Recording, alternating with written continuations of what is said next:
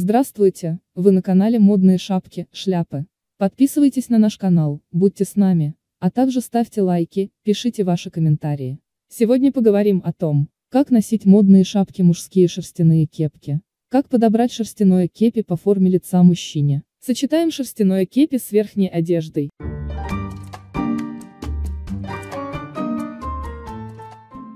Проще говоря, это теплая кепка. Нужно сразу отметить, что шерстяное кепи отлично подходит для теплой зимы, но совершенно неуместно при 30-градусных морозах.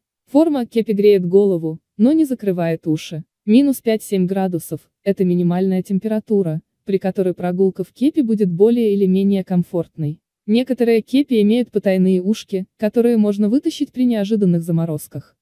Материал зимнее кепи должного быть шито из плотного материала с добавлением шерсти и иметь теплую и мягкую подкладку. Особенности и цвет. Самый популярный цвет кепи серый, реже встречаются коричневые модели. С какой формой лица предпочтительно носить? Кепи прекрасно смотрится с любым овалом лица, кроме круглого, так как кепка скругляет его еще больше.